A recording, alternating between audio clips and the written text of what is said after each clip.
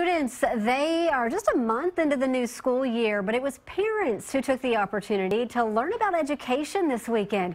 Families attended the Austin School Expo to find daycares, charter schools, homeschooling groups, and extracurricular activities that best fit their child's needs.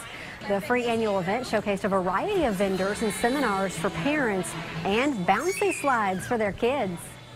We've got a ton of different options and exhibitors here. Um, a lot of these people and parents in general just wouldn't get exposed to unless they went out looking for them. So this gives them a concise place um, for them to see a lot of them.